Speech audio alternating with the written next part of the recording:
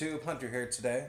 So I went to my local gun shop and they were selling a few different guns. They were selling an SKS and they had an old model 75 Cooey. You guys know I'm a sucker for 22. I love 22. The bore on the gun was like brand new. Original bluing. It looks great. The rifle was in about 9 out of 10 condition. Okay, there was a few marks on the stock. I ended up sanding it and re-varnishing. Looks brand new now. Now, I didn't just leave this thing normal. I made it into a scout rifle. Reason for it, the Cooey Model 75 was known of being one of the most accurate little 22s that they ever made, with the long barrel and the muzzle brake. Okay? I took the muzzle brake off today because, well, I don't really think I need it. But I'm going to show you this 22 and you guys let me know if you like it or not. So guys, this here is the Model 75. It's made by Cooey. As you see, I did a few different things to it. First, let's look at the bluing in this gun. It's original. It was never touched. And it's still in excellent condition. A few little marks coming on it, but nothing really. I put a laser dot on it. Um, reason why I put this on and the reason why there's tape on this right there is because I didn't want to scratch my barrel when I was putting it on. But that laser I bought on Amazon and they say it's good to around 325 yards. Now, I didn't try it yet, but I do have it bore sighted with the gun, so it is on with the gun, which is pretty cool. Now, this gun had an attachment on the side of it. Still don't have a clue what it was for, but I took that off and put my own on.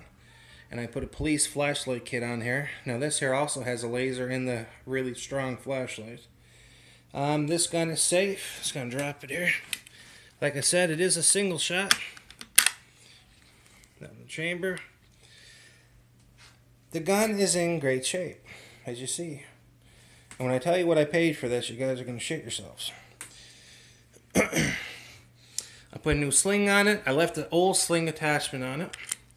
They're hard as hell to find. Left them on. Put a butt pad on it, not because it has a kick, but a few more inches makes it perfect for me. Fits me good. I mean, I think it came out really cool, man. You know, with all the different things on it. Just gonna show you a few things. Shut the light off here. Alright.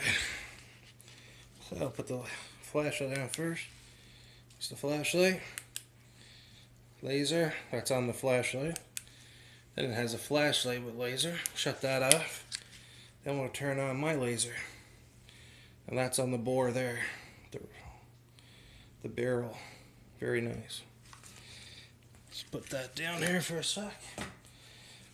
Anyway, I just want to do a small video, show you another 22 that I picked up. I'll be taking this to the range soon. But man, look at this. Like, this thing is old. It's in great shape. There was no cracks. The wood is perfect on this. I found one, I thought it was a crack, but here's a scratch. It was right there. But when I check more, not rough or anything. Long scratch.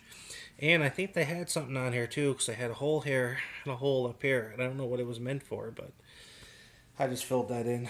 Anyway, that's it for me. Just wanted to show you this. I'll be doing a shooting video of this very soon. And like always, take care. Thanks for watching.